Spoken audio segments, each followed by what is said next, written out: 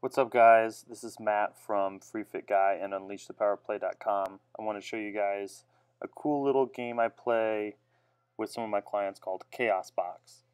The goal is essentially to have one person leading and tapping cones or different objects within their environment while the other person mirrors and tries to match that position. So if Mark here goes to his front left, I'm going to my front right. If he goes back right, I'm going back left, back and forth.